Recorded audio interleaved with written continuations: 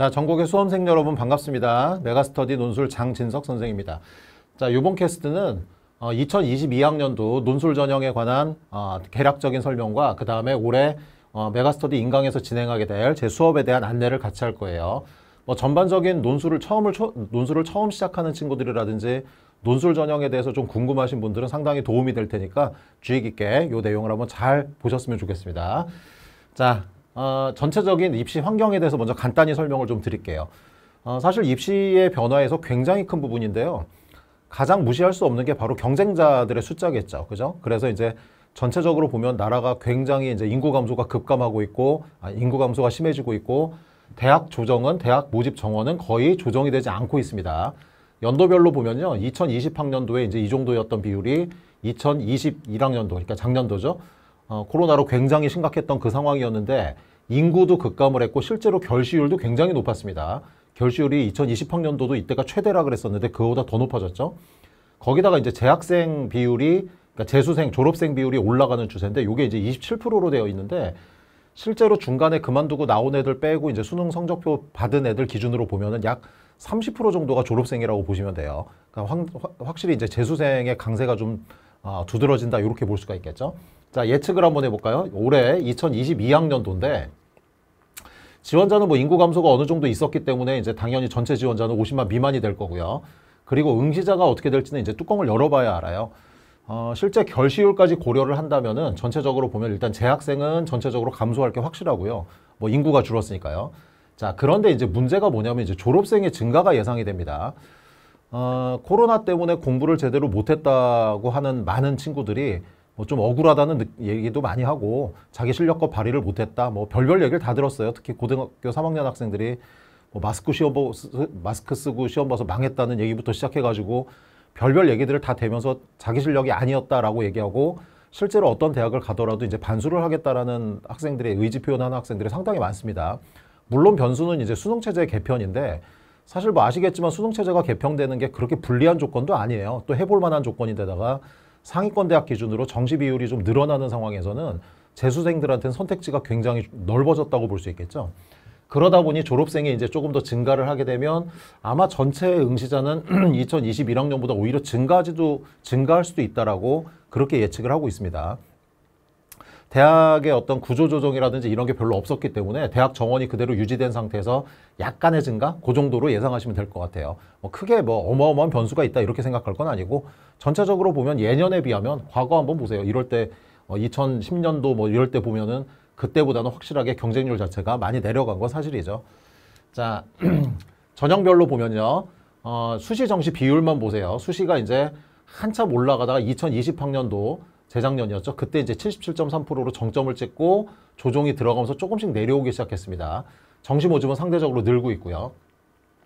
이게 이제 전체적으로 보면 75대 24 이렇게 되어 있지만은 실제로 안에 내용을 들여다보면은 서울의 중상위권 대학 이상들에서 정시 비율을 많이 올렸기 때문에 뭐 40% 가까이 올린 대학들도 많고요. 그렇게 올리다 보니 어, 사실 뭐 상위권 대학들만 그렇게 올리면은 나는 실력이 그 정도는 안 되는데 도움이 안 된다라고 생각할지 모르겠지만 상당히 많은 학생들이 정시에서 위쪽으로 빠져나가게 되면은 뭐 서울의 중하위권 대학 혹은 뭐 경기권 대학 이런 대학들도 어느 정도 좀 들어갈 여유가 생기게 됩니다. 그러니까 한마디로 정시하는 데는 과거에 비해서는 어, 몇 년 전에 비해서는 확실히 유리해진 게 사실이죠. 어, 지금 정시 얘기를 내가 하는 이유는 논술은 수시 전형이에요. 수시 전형이지만 수능 최저 조건을 끼고 보는 전형이다 보니 정시하고 밀접하게 연결이, 연결이 돼 있죠. 실제로 그래서 여러분들이 수능과 논술 이 두 개를 병행했을 때 당연히 정시에 대한 어떤 가능성도 올해 상황이 좋으니까 어, 열, 열릴 것이고 그리고 논술에 대한 어떤 가능성도 계속 가지고 가란 얘기입니다. 자 무조건 무턱대고 학종 뭐 이렇게만 매달리기가 그렇게 만만치가 않을 수도 있는 거죠. 어, 뭐 그런 학생들에게 논술은 좋은 기회가 되겠죠. 자 인원을 보면요 전체 인원 중에 이제 논술 전형을 보시면은 전체적으로 보시면 인원은 비율로는 3.2%에서 3.2% 똑같아요. 아주 약간 줄어든 정도. 그러니까 논술 전형이 크게 줄어들진 않았습니다. 어, 정시 전형이 줄어들면서 아, 늘어나면서 학생부 종합 전형은 조금 영향을 받기는 했는데 논술 전형에서는 크게 영향을 받지는 않았어요. 종합 전형은 확실히 이제 감소가 있었죠. 자, 그리고 정시 모집은 뭐 이렇게 되고요. 자, 이제 중요한 건 대학별로 좀 설명을 할게요. 어, 지금 뭐 여기 있는 대학들을 다 설명할 수는 없지만은 어, 가장 오래 좀 주목해야 될 학교들 그리고 많은 학생들이 좀 가고, 가고자 하는 원하는 학교들 작년과 전형이 좀 바뀐 학교들 이런 학교들 중심으로 좀 설명을 해볼게요. 올해 가장 주목할 학교는 가천대예요. 물론 뭐 처음 논술 시작하면서 가천대를 목표로 하는 친구들이 어, 뭐 그래도 있겠죠. 어, 근데 대부분 그거보다 더 상위권 대학들을 목표로 할 텐데 사실 가천대가 요즘에 계속 이제 좀 상승세에 있는 대학 중에 하나죠. 어, 이제 그 분당 지역이라든지 그러니까 성남 분당 지역 뭐 강남 지역, 송파 지역 이 지역 학생들은요. 어, 사실은 심리적 마지노선이 가천대예요. 가천대는 성남에 있습니다. 성남에 있는 학교지만 서울하고 겹해, 겹쳐져 있기 때문에 인서울대학으로 요즘에는 인정을 해주고요. 학교가 계속 확장이 되면서 학교 모양이 이렇게 세로로 길어지고 있어요. 서울 쪽으로 북진하고 있는데 하여튼 가천대가 배치표상에서도 보면 계속 올라오고 있습니다. 매년 올라오고 있고 실제로 뭐 세종대, 숭실대 라인과 크게 차이가 나지 않을 정도로 많이 올라왔어요. 실제 그만큼 학교에 투자도 많이 되고 좋다는 얘기죠. 가천대를 왜 주목해야 되냐면 어, 850명의 인원을 적성 전형으로 내내 뽑다가 적성 전형이 폐지가 됐습니다. 그러면서 그대로 논술 전형으로 넘어와서 논술로 뽑는 인원 그 대학들 중에 가장 많은 인원을 선발을 합니다. 거기다가 모든 게 입시가 첫 해일 경우에는요 변수가 많아요. 그래서 어, 이게 이제 논술 문제 예시 문제라든지 이런 게 아직 발표되지 않았지만 뭐 발표되면 바로 내가 이제 그건 문제풀이하고 가천대 final 준비를 시켜줄 거예요. 그런데 어찌됐든 간에 난이도로 놓고 볼 때 그렇게 뭐 엄청나게 어려운 난이도로 내진 않을 것이고 수능 최저 조건을 보시면 아시겠지만 어, 국영, 국수영, 사과 한 과목 중에 한 개 이상만 3등급이면 되는 정도로 굉장히 수능 최저 조건이 낮은 편입니다. 해볼만 하죠. 한 과목만 넘으면 되니까. 자, 그리고 교과 전형 교과를 40%, 즉 내신을 40% 본다 그랬는데 실질 반영 비율은 발표하지 않았는데요. 아마 발표된다 그래도 내신이 그렇게 실질적으로는 크게 반영되진 않을 거예요. 대체적으로 한 4, 5등급 때까지 5등급은 좀 모르겠는데 4등급 때까지는 무난하게 지원할 수 있지 않을까. 아, 요거는 대학에서 세부안이 나오면 그때 다시 한번 설명을 드리도록 할게요. 그래서 가천대가 뭐 물론 상위권 대학들 목표로 하는 친구들이야 어, 가천대까지 원서를 안 쓸 수도 있겠지만 어, 논술로 어떻게든 간에 그래도 좀 괜찮은 학교를 가고 싶다 하는 친구들이라면 어, 당연히 가천대를 또 좀 어, 마음속에 두고 있어야 됩니다. 충분히 가능성이 있고요. 경쟁률은 굉장히 높을 거예요. 최저 조건이 낮다 보니까.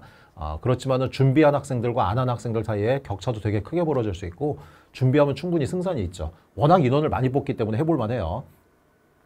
자, 그리고 이제 어, 많은 학생들이 생각하는 학교들 중에 이제 어, 건대 같은 경우가 건대가 항상 어려운데 건대 논술이 내신을 보지 않죠. 내신을 보지 않다 보니까 상대적으로 내신이 나쁜 학생들 5등급, 6등급, 7등급 특히 이제 특목고나 자사고나 뭐 이런 외고나 이런 데 출신 학생들이 건대를 많이 지원을 합니다. 그래서 실제로 건대 보는 친구들의 실력이 되게 좋아요. 논술 준비도 많이 하고 그렇게 그냥 만만하게 내신 안 보니까 아무나 쓰자 이런 분위기는 아니고요. 그리고 최저도 이제 이합사로 어, 작년과 똑같죠.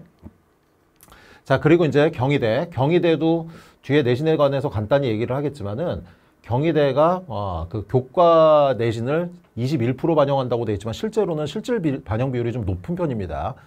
그래서 한 4등급 대 정도만 돼도 합격자가 그렇게 많지 않아요. 어, 3등급 때까지는 괜찮은데 그리고 5등급 때, 6등급 때는 거의 합등급 합격자가 없다고 보시면 돼요. 특히 비교과도 들어가기 때문에 출결에 문제가 있는 학생들은 감점당할 수도 있습니다. 자, 그런데 이제 경희대가 올해 바뀐 부분이 바로 최저 조건이에요. 원래 2합 4였는데 2합 5로 더 완화를 했습니다. 이게 최저 조건을 경희대급의 학교에서 최저를 내린다는 얘기는요. 논술에 대한 변별력에 자신이 있다는 얘기예요. 실제로 경희대 문제가 준비를 좀 꾸준히 해야 붙을 수 있는 학교고 단기간에 이렇게 할 수 있는 학교는 아니기 때문에 논술 준비만 꾸준히 잘한다면 충분히 또 해볼만 하겠죠. 물론 이제 내신이 너무 나쁘다면 피해야 되는 학교고요. 그리고 역시 적성 전형을 보던 고려대 세종 캠퍼스가 아, 이제 논술로 들어왔습니다. 그래서 연대 원주 캠퍼스, 고려대 세종 캠퍼스 요두 대학이 이제 논술 전형으로 치러지게 되는데 어, 사실 많은 학생들이 이제 그 약간 그 캠퍼스에 대한 거부감이 있다 보니까 지원을 잘 안 하는 경향들이 있어요. 그래서 실질 경쟁률도 낮은 편이고 어, 최저 조건도 보면은 이제 그 저기 가천대하고 똑같죠. 한 과목 3등급인데 여기는 이제 사과탐 두 개 평균으로 계산을 하고요. 혹은 영어 2등급만 맞아도 이제 최저 조건으로 인정을 해줍니다. 그래서 요것도 이제 여러분들의 선택지에 한번 넣어놓고 보란 얘기예요. 논술 문제는 역시 그 예시 문제가 나오면 어, 어느 정도 가늠이 되겠지만 그렇게 난이도를 엄청 높여내진 않을 거로 예상이 됩니다. 자, 그래서 신설된 대학 이렇게 가천대, 고려대, 세종 그리고 이제 수원대 요 세 개 대학이 올해 새로 들어왔어요. 그리고 다른 대학들 중에서도 이제 동국대, 동국대 같은 경우는 아까 건대, 동대가 다 이제 이합 사를 그대로 유지를 하고 있죠. 그리고 원래 경찰행정학부가 예전에는 최저가 높았다가 다시 없어졌다가 최저가 똑같아졌다 다시 또 분리를 했습니다. 그래서 경찰행정학부 같은 경우는 사실 동국대 간판과인데 어, 국수 영 중에 탐구를 뺀 나머지 두 개에서 합사니까 여기는 탐구가 포함이고요. 그 차이가 좀 있습니다. 자 그리고 뭐 다들 이제 원하는 이제 어떻게 보면 논술로 갈 수 있는 가장 높은 학교들이죠. 서강대라든지 성대라든지 여전히 논술 문제는 어렵고요. 최저 조건도 그렇게 만만치 않습니다. 일단 3합 6, 뭐 이런 조건이 들어가는 대학들은요. 최저 충족 비율이 30%대밖에 안 돼요.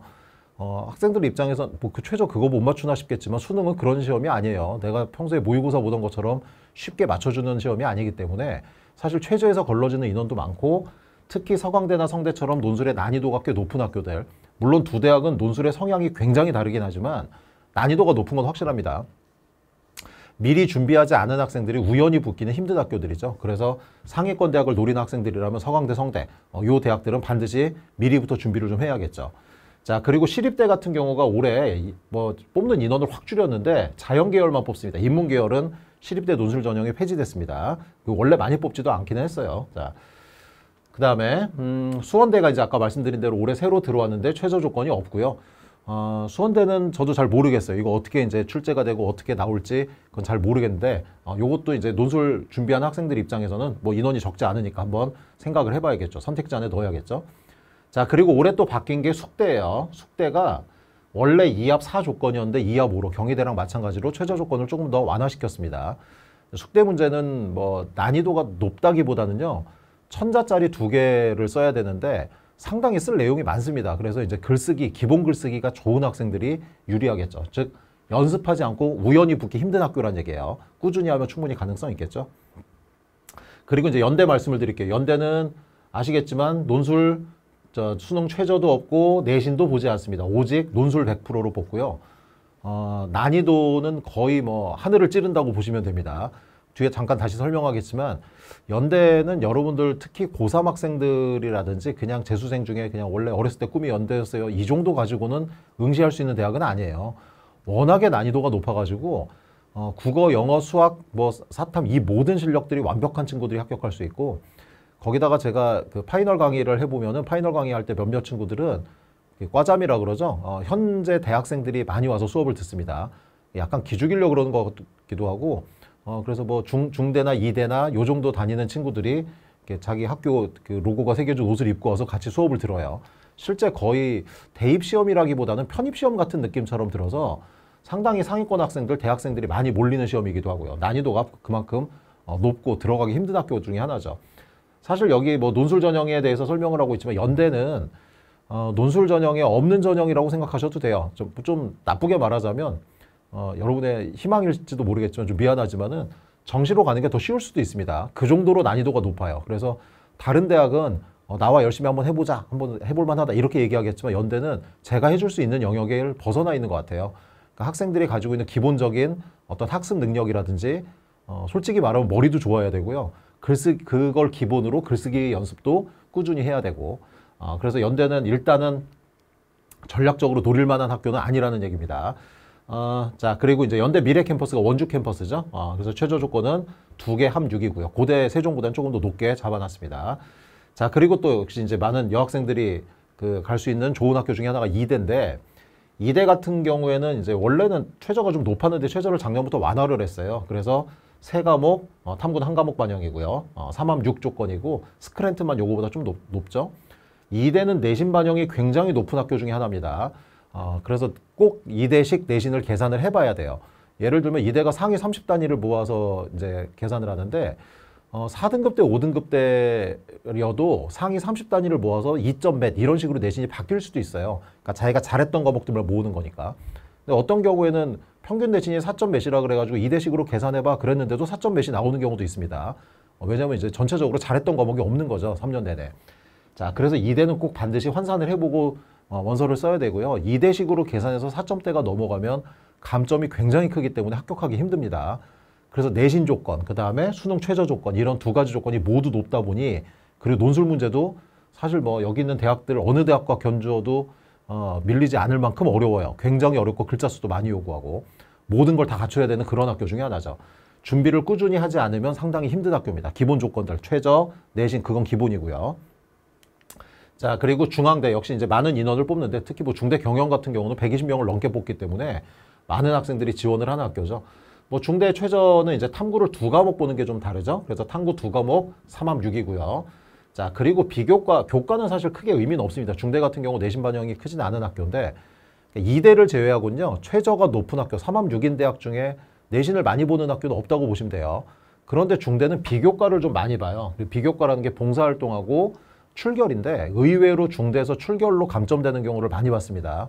뭐 고3들이야 그럴 일이 없지만은 재수생들 같은 경우에 이제 그저 수능 끝나고 나서 뭐, 뭐 인생 끝났다 이런 생각이 들었는지 하여튼 학교를 안 가버려 가지고 무단 결석 처리가 막 15일 뭐 이렇게 나오는 경우들이 있어요. 사실 그 정도 되면 지원 못 합니다, 이건. 아, 그래서 중대 같은 경우는 비교과도 꼭 생각을 하셔야 돼요.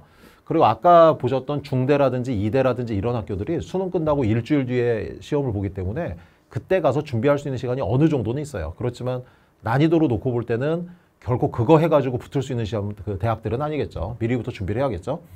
자 그리고 이제 역시 외대 뭐 외대도 인원으로 보면 중대보다 적은 것처럼 보이지만 외대 굉장히 많이 뽑는 거예요. 왜냐하면 이게 외대는 이과가 없기 때문에 아, 이과를 논술로 뽑지 않기 때문에 다 문과생으로만 뽑는 인원입니다. 자 그리고 이제 LD나 LT 학부 같은 경우는 최저가 좀 높죠. 그리고 나머지는 이렇게 이합사고 글로벌 캠퍼스는 최저가 없습니다. 어, 외대 논술 문제는 굉장히 안정적이고 쉬운 편이에요. 난이도가 그렇게 높지는 않기 때문에 요것도 이제 전략적으로 노려볼 수 있는 학교죠. 어, 문제는 최저예요. 이합사가 쉬워 보이지만 실제 수능 때 가서 미끄러지는 친구들 너무 많이 봐가지고 최저만 뭐 튼튼하다면 외대는 당연히 과도 굉장히 다양하고 그래서 어, 충분히 노려볼 수 있는 그런 학교가 되겠죠. 자 그리고 이제 한양대 한양대는 연대하고 마찬가지로 논술 최저를 보지 않고 학생부를 보긴 하는데 이 학생부라는 게 내신을 보는 건 아니에요. 학생부 종합평가라 그래서 어, 뭐 봉사활동이라든지 출결이라든지 이런 걸 주로 봅니다. 그러니까 교과보다는 비교과 영역을 본다고 생각하시면 되고요. 그러니까 내신은 전혀 들어가지 않습니다. 자, 문제는 뭐냐면 뭐 연대든 한양대든 다 높은 학교들인데 그 학교들에서 최저도 없이 내신도 안 보고 학생을 뽑는다는 건 그만큼 논술 변별력이 높다는 얘기겠죠. 굉장히 어렵습니다. 한양대 문제는. 인문계열 문제 당연히 어렵고요. 상경계열 같은 경우는 손도 대기 힘든 그런 수리 문제들이 출제가 됩니다. 그래서 한양대는 물론 뭐 처음부터 연대처럼 마음을 접어라 이런 건 아니지만 수학을 잘하는 학생들한테는 어, 내가 얘기하는 잘한다는 건 정말 내내 1등급인 학생들 그런 친구들한테는 해볼 만 해요. 상경계열 같은 경우. 그리고 글발이 좀 좋고 서강대 글쓰기를 좀 잘하는 친구들 서강대하고 패턴이 약간 비슷한 게 있어요. 그렇다면 한양대 인문계열 지원해 볼 만 하겠죠. 자 그리고 한양대 에리카는 역시 이제 최저 조건이 있다가 폐지를 시켰는데 똑같은 조건이에요. 이런 식으로 반영을 하고요. 어, 홍대가 어, 이제 3합 7 조건이죠. 좀 특이하죠. 뭐 2합 4도 아니고 2합 3합 6도 아니고 3합 7 조건입니다. 자, 그리고 어, 수능 전에 시험이 있다 보니까 홍대 같은 경우에는 아무래도 실질 경쟁률 자체가 좀 떨어지는 경향이 있어요. 그러니까 최저에서도 걸러지지만 어, 처음에 시험장 가면 학생들은 다 오죠. 수능 보기 전이니까. 어, 그리고 나서 최저 못 맞춘 애들은 뭐 다 떨어져 나가겠지만 어쨌든 간에 수능 전에 보는 시험에 대한 부담 때문에 어, 실질적으로 보면은 아주 상위권 학생들이 그렇게 오지 않습니다. 왜냐하면 상위권 학생들 입장에선 뭐 수능 대박 날 수도 있는데 수능 전에 했다가 뭐 납치되면 어떻게 납치라도 해주면 고마운데 하여튼 뭐 그런 식의 생각을 하다 보니 어, 상위권 학생들이 좀 빠지는 경향이 있어요. 홍대는. 그래서 뭐 어느 정도 준비한다면 충분히 해볼 만한 학교 중에 하나겠죠. 자, 뭐 개략적으로 대학들에 대한 설명을 드렸는데 요거는 어, 내가 이 중에 이제 주요 대학들은 대학별 final 수업을 다 진행을 하고 있으니까 그 OT 때 자세한 입시 결과라든지 뭐 그런 것들을 다 올려놨, 올려놓을 거예요. 그러니까 그런 걸 참고하시면 될 거고요. 자, 그 다음에 이제 전체적으로 최저 학력 조건 정리를 좀 해볼게요. 최저가 반영되지 않는 학교들은 이 학교들이고요. 이 중에서 여러분들 아까도 얘기했지만 연대하고 한양대는 최저가 반영되지 않는다 그래서 만만하다는 뜻은 아니에요. 굉장한 논술 실력이 필요하고 그렇다고 해서 또 나머지 대학들은 최저가 없으면 학생들이 뭐 논신들이 붙는 거 아니냐 뭐 이런 얘기를 하는데 그렇지 않습니다.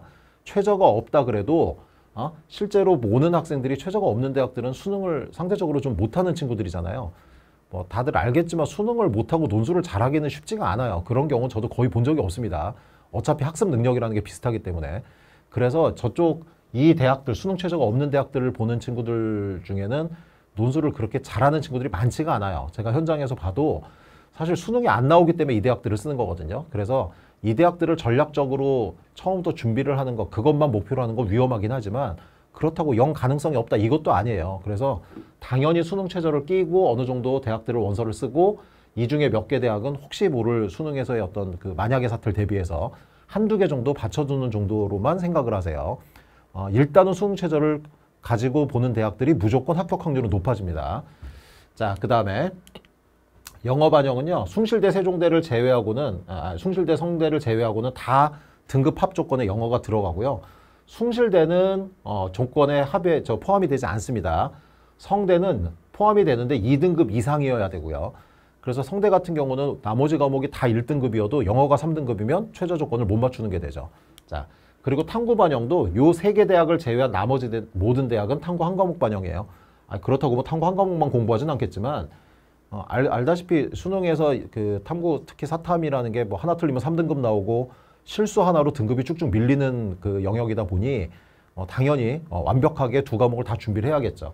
그리고 원서 쓸 때는 혹시라도 내가 두 과목 중에 하나가 좀 불안불안하다 싶으면 요 대학들은 제외하고 물론 뭐 국영수로 최저 맞출 수 있으면 좋지만 그게 아슬아슬한 상황이라면 어, 상대적으로 이제 좀 어, 탐구 한 과목 보는 대학을 지원하는 게 더 낫겠죠. 자.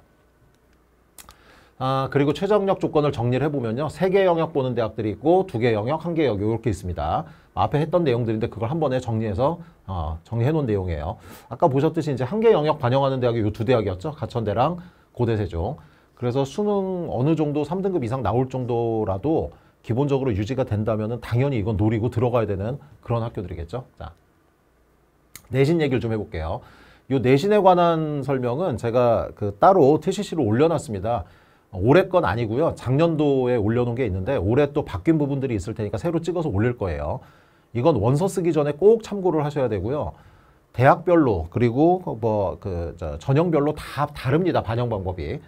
그래서 반영 과목 학년 비율, 반영, 반영 방법 등이 모두 다르기 때문에 이거는 꼭 대학별 내신을 환산해 보셔야 돼요. 그러니까 일괄적으로 나는 2점 몇이야. 그럼 모든 대학이 2점 몇이 아니라는 얘기죠. 그러니까 이건 사이트에 각각 이제 입력을 하면은 그 대학별 환산 점수 몇 점 만점에 몇 점 이런 식으로 계산이 될 거예요. 자, 그리고 비교과 감점 요인도 확인하세요. 아까 얘기했듯이 중대라든지 외대라든지 뭐 경희대라든지 이런 학교들이 비교과를 보니까 출결해서 감점당하지 않도록 그런 것도 한번 봐야겠죠. 자, 그래서 지원 가능한 대학을 어느 정도 내신으로 한번 골라야 되는데 그게 어느 정도 라인이냐면요. 내신이 한 3등급 대다 그러면은 사실 고민할 거 없어요. 어디를 써도 상관없고 수능 최저만 고민하면 돼요. 자, 그런데 내신이 4등급 대다 그러면은 약간 불리한 학교들이 몇 개 생깁니다. 뭐 대표적으로 경희대라든지 이대 같은 학교는 내신 4등급이면 불리해요. 안 된다는 건 아니지만 확실히 불리합니다. 자, 그리고 5등급 대가 되면 아예 지원을 못하는 학교도 생겨요. 6등급 되면은 정말 생각을 잘 해봐야 됩니다. 6등급 대, 7등급 대 넘어가는 친구들. 어, 되게 많이 봤어요. 이제 외고 출신 학생들 중에 그런 친구들이 있어요. 내신 손나버리고 그냥 수능 집중 뭐 이랬는데 수능도 잘 안 나오고 뭐 이래서 이제 논술 전형에 왔는데 또 그 내신이 발목을 잡고 이런 경우들이 되게 많거든요. 그런 친구들이라면 확실하게 내신이 나쁘면 방법은 딱 하나예요.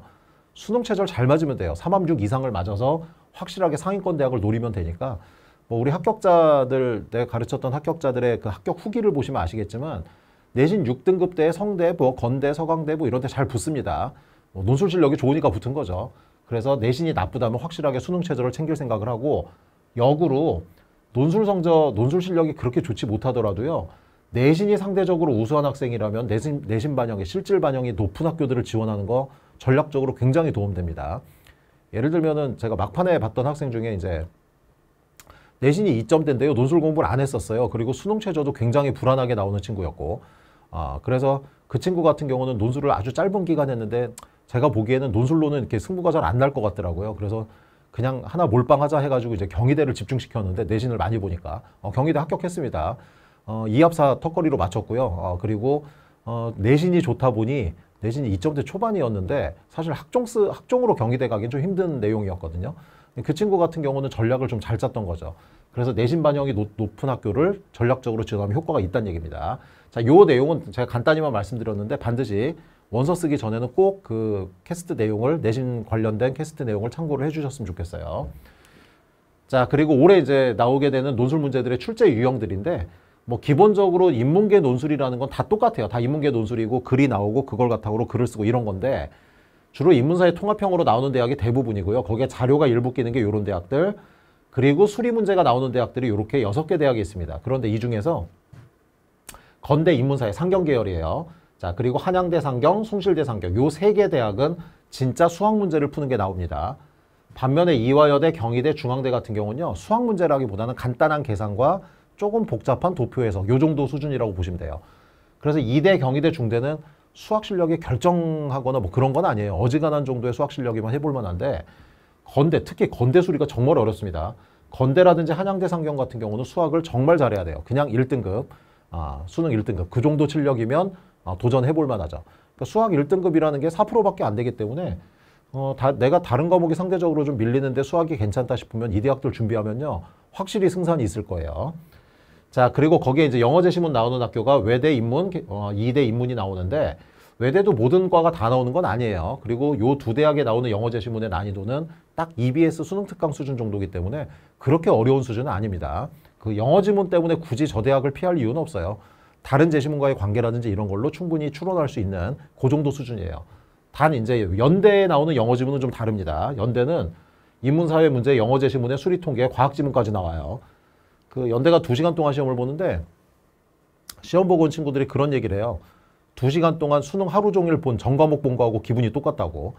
그 정도로 압축적으로 모든 내용을 두시간에 풀어내야 됩니다. 글자 수는 2,400자 넘게 써야 되고 어, 영어 제시문의 길이는 한 그 뭐 여러분들이 이때까지 봤던 EBS 장문 독해 뭐 이런 거하고 비교도 안 될 정도로 길게 출제가 될 거예요. 물론 난이도도 높고 거기에 아주 어려운 또 수학 문제까지 출제가 됩니다. 어, 모든 걸 잘해야 된다는 얘기죠. 그래서 잘 연대를 막연하게 생각하는 친구들은 그냥 논술로 어떻게 글 좀 쓰면 붙지 않나 이렇게 생각하는 친구들은 꼭 기출 문제를 한 번쯤 읽어봤으면 좋겠어요. 아, 그래서 만만하게 도전할 만한 학교는 아니라는 얘기죠. 자, 그 다음에 어쩌면 이제 오늘 내용 중에 가장 중요한 내용이에요.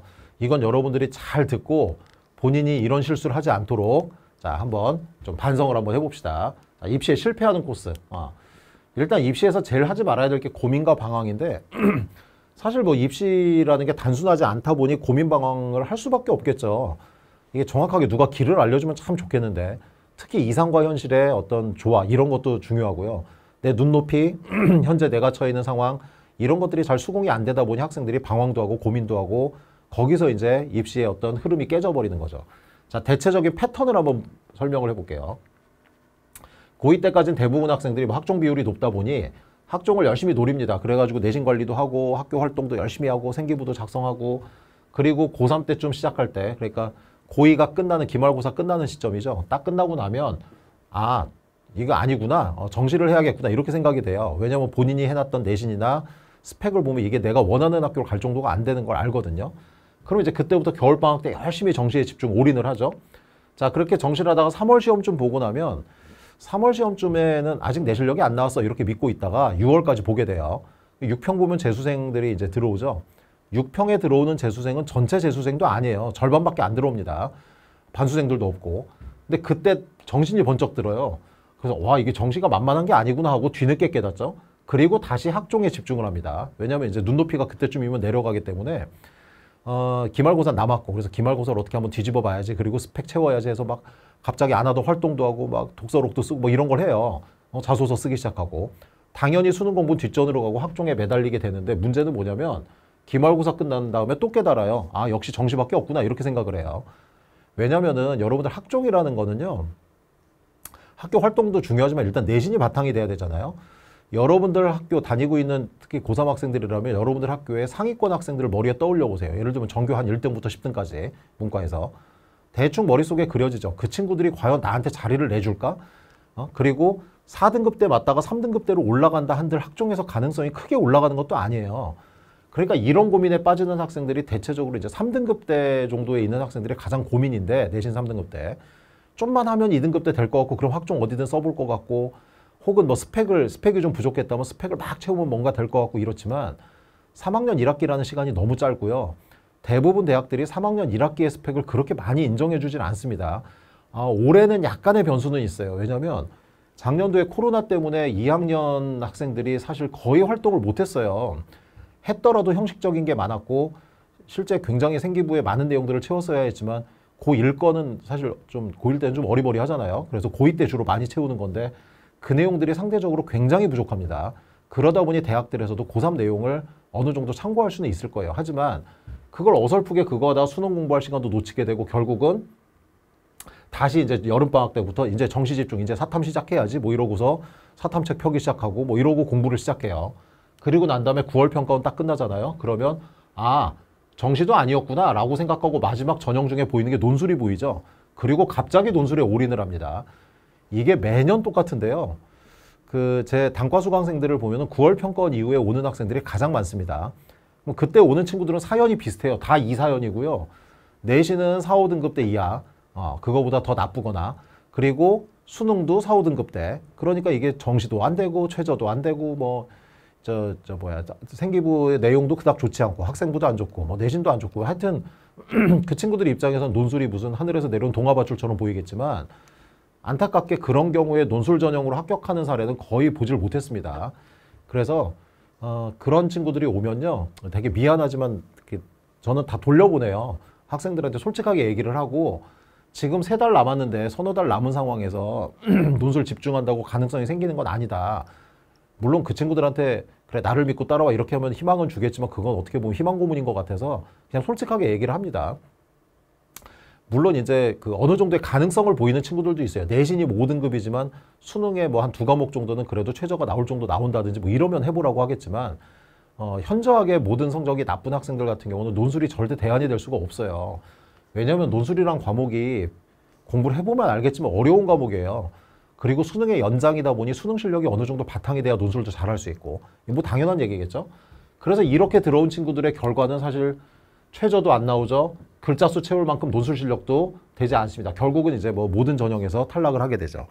이리저리 돌아다니다가 방황하는 방황하다 결국 실패하는 그런 코스죠. 지금 상황에서는 냉정하게 판단해야 돼요. 현재 내 상황이 어떤지. 그러니까 기말고사 이후든 혹은 6월 이후에 깨달을 그 깨달음을 지금쯤 그러니까 초반에 어느 정도는 어, 본인들이 좀 깨달아야 된다는 얘기입니다. 그래서 냉정하게 객관적인 현실을 인식하고 그리고 나서 이제 선택할 수 있는 선택 강이 그렇게 복잡하지가 않아요. 현실 인식만 잘하고 있다면. 자, 어떻게 하면 성공하는지 볼게요. 중요한 단어죠. 선택과 집중. 자, 고2 때까지 학생부를 냉정하게 판단해서 전략을 수립하세요. 이건 현실의 눈높이도 조절을 해야 되고요. 그리고 학생부로 좀 생기부로 뭐, 뭐좀 승부가 볼만하지 않다. 특히 이제 내신이 뭐 한 4등급, 5등급 이렇게 나오고 있다 그러면 현실적 판단해야 됩니다. 그래서 학종이나 교과 지원이 힘들다고 판단되면 고3 겨울방학부터 물론 이 지금 요 내용을 듣고 있는 친구들이 훨씬 더 뒤에 들을 수도 있겠지만은 듣는 시점부터 시작하세요. 어찌됐든 간에 늦었다 생각해도 빨리 하루라도 빨리 시작하는 게 중요하니까. 자 그러면 그때쯤 정시와 논술을 병행하는 거예요. 정시 준비도 바빠 죽겠는데 논술을 언제 해요 그러지만 계속 얘기하죠. 논술은 정시 수능의 연장이에요. 절대 새로운 과목이 아닙니다. 연장된 좀 더 확장된 개념이기 때문에 충분히 병행할 수 있어요. 자 그렇게 하고 중간 기말고사 기간에는 논술 전형에서 감점당하지 않을 정도로만 내신 관리하세요. 아까도 말씀드렸지만 예를 들면 내신이 뭐 4점대에 걸려 있다 그러면 5점대가 되지 않을 만큼만 관리하라는 얘기예요. 그거 어렵지 않습니다. 어, 왜냐하면 4점대, 5점대 학생들이 내신에 목숨 걸지 않기 때문에 자기 유지, 성적 유지하는 건 그렇게 어렵지 않아요. 자, 그 정도 한 일주일 정도 공부하면 될 거예요. 그리고 어차피 뭐 고3 내신이라는 게 다 수능, 수, 수능 특강이나 이런 데서 내기 때문에 수능 공부한다 생각하고 하면 되겠죠. 자, 그리고 그 시간에 나머지 시간에 뭐 생기부 작성할 시간, 뭐 자소서 쓸 시간 등등등 이런 시간에 수능이나 논술 공부 시간을 확보를 하세요. 어, 그럼 남들보다 훨씬 더 많은 시간을 끌어낼 수 있을 겁니다. 자, 그리고 이게 핵심인데요. 9월 평가원 이후에는 논술 비중은 줄이는 거예요. 앞부분부터 꾸준히 해가지고 어느 정도 논술의 그 양이 채워져 있다면 9평 이후에는 당연히 수능으로 집중을 해야 됩니다. 그래서 수능 집중하고 논술 비중 줄이고 그리고 논술 비중을 줄이라는 게 하지 말라는 얘기는 아니에요. 일정 정도 그러니까 일주일에 한 편 이상씩은 한 세트 정도는 계속 쓰는 연습을 해야 될 거고 그거 시간 많이 뺏기지 않아요. 그 정도만 하더라도 앞에서 배웠던 것들 그대로 유지할 수 있을 거예요. 당연히 수능이 중심이기 때문에 수능 비중 늘려야 되고요. 이렇게 했을 때 최저 당연히 맞출 수 있고 안정적인 논술 실력도 생기겠죠. 자, 다시 얘기하지만 논술은 별개 과목이 아니라 수능의 연장이에요. 왜냐하면 교육과정 출제니까. 그래서 수능과 병행하여 공부할 때 시너지가 생길 수 있습니다. 뭐 당연히 국어, 국어 과목에 가장 도움이 될 거고요. 탐구의 내용들 이런 것들이 많이 출제가 될 겁니다. 그래서 또 논술은 사고 과정을 측정하는 시험이기 때문에 단기간에 뭐 아까 얘기했지만 9평 끝나고 잠깐 이런 거 가지고 가능성이 있는 게 아니에요. 그래서 충분한 시간 동안 논리적으로 생각하고 쓰고 고치고 다시 쓰는 과정 그러면 충분히 여러분들 합격할 수 있겠죠. 그 과정들의 모든 단계들을 보면은 이게 우왕좌왕 하다 보면 실패하게 돼요. 딱 정해놓고 일정 시간은 논술 공부하는 시간 이렇게 빼놔야 된다는 얘기겠죠. 그리고 어느 정도 처음에는 이게 논술이라는 게 되게 낯설게 느껴질지 모르겠지만 어느 정도 지나고 나다 보면 아 이게 뭐 수능이랑 별 차이가 없구나 이런 생각도 느끼게 될 거예요. 분명히 도움이 됩니다. 자 수시 논술에 대해서 간단히 말씀을 드릴게요. 앞에 했던 얘기들이랑 좀 중복될 수도 있는데 자 수시 논술은 우수한 수시라는 전형 자체가 우수한 학생을 선발합니다. 그 우수하다는 게 뭐냐? 사회적으로 볼 때 우수함의 기준은 굉장히 다양해요. 어, 내신 관리를 잘한 친구도 우수한 거고요. 학교 생활을 열심히 한 것도 우수한 거고 어, 수능 성적이 좋은 것도 우수한 거고 논술을 잘하는 것도 우수한 겁니다. 어, 모든 기준이 하나만 있는 건 아니라는 얘기죠. 그래서 이제 그, 그 대입 전형이 다양한 건데 학생들이 가끔 그런 얘기해요. 어, 뭐 우리 선배 누구 뭐 내 친구 누구는요 논술학원 한 번도 다닌 적이 없는데 논술로 대학을 붙었어요. 논술 전형 뭐 선풍기 날리는 거 아니에요. 뭐 이런 얘기를 하는데 어, 학원을 많이 다니고 논술 공부를 많이 했다고 해서 논술을 잘하는 건 아닙니다. 자, 이건 아주 간단해요. 여러분들 국어 학원이나 수학 학원을 얼마나 다녔죠? 공부를 얼마나 했죠? 그래서 현재 몇 등급이 나오죠? 어, 되게 미안한 얘기지만 학원을 많이 다니는 거와 성적이 비례하지는 않는다는 얘기예요. 논술도 똑같습니다. 운동도 비슷해요. 운동도 처음 조금만 가르쳐도 잘하는 사람이 있고 죽어라고 노력해도 안 되는 사람도 있어요. 그러니까 모든 거는 자기의 능력치라는 게 있는 게 있게 마련이고 내가 가진 능력치에서 최대한 노력해가지고 일정 부분까지 끌어올릴 수 있지만은 어, 그렇다고 해서 아예 뭐 뭐 그 저 능력이 전혀 없이 태어나거나 이런 사람들은 없어요. 다 어느 정도의 능력을 갖고 있는데 그걸 어느 정도의 시간을 더 투자하느냐의 문제겠죠. 자, 그래서 실제로 저도 그런 친구들 많이 봤어요. 마지막 final 때 며칠 하는 강의만 듣고 논술 합격하는 친구들 많이 봤습니다. 논술 생전 안 하다가. 그 친구들을 보면 대체적으로 공통점이 있어요. 국어를 잘해요. 국어를 잘하거나 아니면은 뭐, 뭐 수리 논술 있는 대학 같은 경우 수학을 잘하거나 하여튼 뭔가 하나는 기본적인 능력들을 갖고 있다는 얘기죠. 그래서 그런 능력들을 이제 키워야겠죠. 시간이 충분히 된다면은 확보를 해가지고 여러분들도 우수해져야 됩니다. 자, 그 다음에 논술은 배경 지식이 아니라 뭐 외워서 푸는 게 아니라 논리력과 독해력으로 답을 찾아 쓰는 시험이에요. 그렇지만 중요한 건 배경 지식이라는 게 무슨 이제 말하자면 흔히 얘기하는 잡지식 같은 건데 그건 중요하지 않지만 교과 지식은 중요해요. 왜냐하면 논술은 교육과정 내에서 출제되기 때문에 어, 사회탐구 과목에 나오는 내용 정도는 알고 있어야 됩니다. 물론 그 선택 과목에 따라 유불리가 정해질 수도 있겠지만 논술 공부하면서 배우면 돼요. 그런 것들. 그리고 어, 제가 쭉 보다 보니 뭐, 그, 뭐 20여 년 논술을 가르쳤는데 가르치다 보니 논술에서 나오는 저 교육과정 내 출제라는 것도 결국은 대부분 중학교 과정이에요. 중학교 때 여러분들 한 번씩 배웠던, 들어봤던 것들일 거예요. 완전히 새로운 건 절대 나오지 않습니다. 단지 그게 심화돼서 나올 뿐이지. 그래서 배경 지식은 필요 없지만 교과 지식은 어느 정도 가지고 있어야 된다는 얘기죠. 그건 물론 수업 시간에 다 진행을 할 거예요. 자, 단기적 단편적으로는 안 돼요. 이건 사고 방식이 바뀌어야 되는 시험이기 때문에 여러분들의 사고의 훈련이 훈련을 할 만큼의 시간이 필요합니다. 그 블룸이라는 인지심리학자가 있는데 그 사람이 이제 인간의 두뇌를 분석을 했어요. 그랬더니 지식 이해, 적용, 분석, 종합평가 이렇게 여섯 개 영역으로 어, 그 인간의 두뇌 영역을 나눴습니다. 그런데 가만히 봤더니 여기서 이제 이 지식 보통 지식이라는 건 암기하는 거죠. 외우는 거고 외운 걸 이해하는 영역. 요 정도까지가 보통 내신이에요. 내신. 그리고 이걸 새로운 지문에 적용하는 여기까지가 수능이에요. 요게 내신이라면 여기까지가 수능 능력이죠. 논술은 여기까지 물어봅니다. 평가 능력은 이제 이건 무슨 논문이나 이런 거고 논술에서 물어보는 영역이 요 정도예요. 다시 말해서 이 밑에 게 바탕이 되지 않으면 논술 영역까지도 가기가 힘들다는 얘기죠. 아까도 얘기했지만 수능의 연장이라는 게 이런 개념이에요. 그러다 보니 이 위에 우리가 내내 그 익숙해 있던 지식, 이해, 적용 이런 것들을 더하기 분석 능력이나 종합 능력에 대한 훈련이 필요하다는 얘기입니다. 그게 이제 사고방식의 변화죠. 분명히 이런 것들이 잘 길러진다면 밑에 부분도 쉬워질 거예요. 같이 시너지 효과를 낼 테니까. 자, 논술은 일단 글을 쓰는 시험이기 때문에 많이 쓰는 사람이 갑이에요. 무조건 많이 써야 됩니다. 어, 이거는 뭐, 그, 내가 여러분들한테 해줄 수 있는 거는 독해에 관한 거, 논리에 관한 거, 혹은 교과 지식에 관한 거, 이런 건 수업을 해주겠지만, 백날 들어도 소용없어요. 여러분들이 직접 써야 됩니다. 어, 여러분들이 인터넷에서 비행기 조종하는 법 찾아보세요. 그럼 써 있을 거예요. 검색해보면 나올 거예요. 그거 열심히 보면 비행기를 조종할 수 있나요? 자, 중요한 건 이 논술이라는 건 내 몸으로 해야 되는 거죠. 어, 수학 문제 아무리 잘 풀어도 마킹 못하면 떨어져 틀리는 것처럼 논술은 그 마킹을 몇 천자 주관식으로 하는 거예요. 그러니까 그 연습은 당연히 여러분들이 열심히 해줘야겠죠.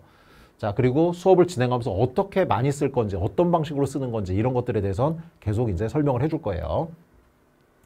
자, 논술의 기본 원리는 모든 대학에 같습니다. 그래서 학생들이 저는 특정 어떤 대학이 목표인데 그 대학 것만 하면 돼요. 그러는데 안 돼요. 그렇게 해가지고는. 모든 대학 다 봐야 됩니다. 왜냐하면 논술이라는 게 교육과정대 출제다 보니 그게 완전히 생뚱맞은 대학은 없어요. 대신에 대학별로 요구하는 글자 수라든지 문제 형식에 대한 다른 부분들은 있지만 논리는 똑같습니다. 상반기 때는 기본적으로 모든 대학들을 훑어보는 게 중요하고요. 그리고 이제 나중에 9월 평가원 이후엔 당연히 대학별로 해도 괜찮겠죠. 그때는 이제 자기가 지원한 대학 기출문제 풀어보고 뭐 모의논술 풀어보고 이렇게 하는 거지만 그렇다고 해서 그 문제들이 똑같이 나오지는 않아요. 논술 문제는 돌려가면서 내다 보니 올해 이 대학에서 나왔던 게 다음에 다음 대학에 다른 대학에 나오기도 하고 이렇게 나옵니다. 왜냐면 원리가 같으니까.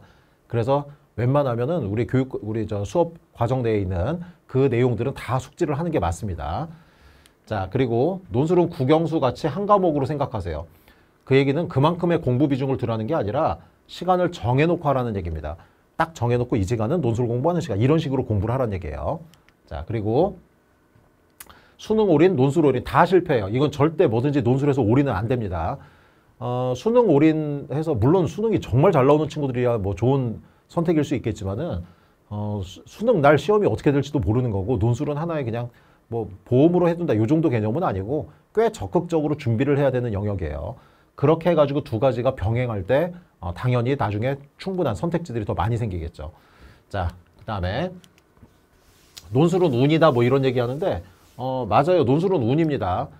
여기서 얘기하는 운이라는 건요. 어, 어쩌면 여러분들이 그 운이라는 게 그냥 그 저 뭐야, 이렇게 진짜 랜덤으로 오는 거라고 생각하는 경우가 있는데 운도 노력에 의해서 와요. 어, 공부의 모든 부분에서 운이 작용을 합니다. 하다못해 내신 시험 볼 때도 내가 시험 보기 직전에 책에서 어느 부분 본 게 나왔으면 운이 좋았던 거잖아요. 수능도 마찬가지고 논술도 운이라는 게 아무나 뽑힌다는 뜻이 아니라 내가 공부한 내용과 비슷한 게 나오면 붙을 수 있다는 얘기죠. 다시 말하면 저 운을 통해서 합격, 합격할 확률을 높이려면 많이 봐야 된다는 얘기예요. 많은 문제들을 다뤄보고 많이 주워 들어야 된다는 얘기겠죠. 자, 투자할 시간이 없다고요? 어, 되게 많은 학생들이 하는 얘기예요. 수능 공부 때문에 논술 투자할 시간 없다고. 그럼 얼마나 투자를 해야 될까요? 자, 합격 후기를 내가 공지사항에 올려놓으니까 거기를 한번 보세요. 붙은 친구들이 일주일에 어느 정도 공부했는지. 많이 하면 한 세시간네시간 정도고 보통 두시간 정도예요. 매일이 아니라 주당 공부 시간을 얘기합니다. 그러니까 이걸 뭐 매일 뭐 두시간씩 하고 이런 거라면 부담이 되겠죠. 그렇지만 논술은 조금 조금씩 쪼개가지고 예를 들면 하루에 한 20, 2, 30분 그 정도씩만 글쓰기 연습해도 충분해요. 하루에 2, 30분 시간이 없다는 건 핑계예요. 여러분들 핸드폰 하는 시간 좀만 줄여도 뺄 수 있는 시간이고 노닥거리는 시간, 멍 때리는 시간 빼도 충분히 할 수 있는 시간입니다. 이거 무슨 뭐 일주일에 12시간을 빼란 얘기도 아니기 때문에 시간이 없다는 건 정말 핑계예요. 그거는. 자, 그리고 수능 점수로 결정난다. 아, 이거는 학생들이 입시를 잘 몰라서 하는 얘기인데 그래서 뭐, 저, 저 뭐야, 논술은 못 썼지만 수능 점수가 높아서 합격했다. 뭐 이렇게 생각들 하는데 그건 원천적으로, 물리적으로 불가능한 얘기예요. 대학들은 여러분의 수능 점수를 알 수가 없습니다. 논술 전형에서는. 이 학생이 최저를 통과했는지 여부만 알 수 있고요. 예전엔 그런 적이 있었어요. 한 10여 년 전에는 수능 점수 보고 뽑았던 적이 있어요. 몇 개 대학들이. 그래서 경고 먹고 제도가 바뀌어 버렸어요. 지금은. 어, 역시 마찬가지로 이것도 공지사항의 그 합격자 수기를 보시면은 그 친구들이 납치될 정도의 수능 점수가 아니라는 것도 아시게 될 거예요. 논술 잘해서 붙은 거예요. 자, 그리고 내신으로 결정난다. 요건 세모예요. 그래서 내신이 대학별로 다르게 반영되기 때문에 유리할 수 있고 불리할 수도 있고. 아, 이것도 합격자 후기를 보시면은 거기에 이제 내신 학생들의 내신이랑 수능 성적이 다 써 있으니까 한번 보시면 알 거예요. 내신이 이성적에도 합격할 수 있구나. 이성적에도 안 될 수도 있구나 이런 것들을 어느 정도 볼 수 있습니다. 이건 대학별로 다르기 때문에 그러겠죠. 자, 논술은 재수생이 더 유리하다. 어, 요거 맞습니다. 모든 대학들을 보면요. 재수생 합격자 비율이 높게 나타납니다. 왜 그럴까요? 재수생이 뭐 인생을 좀 더 살아가지고 글이 깊어지고 뭐 이런 걸까요? 아니에요. 논술은 다 못해요. 제가 수많은 학생들을 가르쳐 봤지만 논술 잘하는 학생들은 없습니다. 그럼 논술은 누가 붙냐면 덜 못하는 학생이 붙어요. 누가 누가 덜 못하나 시합이고 다 같이 들어가서 삽질을 하는 건데 내 삽이 좀 작으면 붙은 거, 붙는 거예요. 그러면 재수생이 왜 많이 붙냐? 어, 당연히 수능 최저를 잘 맞추기 때문에 그럽니다. 재수생이 유리한 건 수능에 대한 부분에 강점이 있기 때문에 그래요. 그러니까 수능 최저 맞추는 비율을 보면 재학생보다 재수생이 훨씬 더 많이 맞추고 그러다 보니 논술 전형에서 합격 확률도 높아지죠.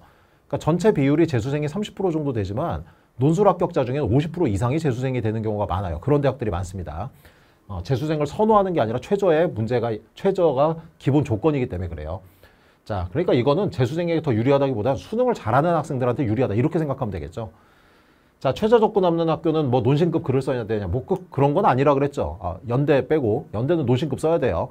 그런데 나머지 학교들이라면 어, 보는 학생들, 그 시험을 응시하는 학생들의 수준이 그닥 높지 않기 때문에 내가 좀 더 준비한다면 가능성이 있습니다. 논술은 경쟁률이 높아서 합격 확률이 떨어져. 이거 되게 넌센스 같은 얘기인데 물론 경쟁률이 중요하기는 해요.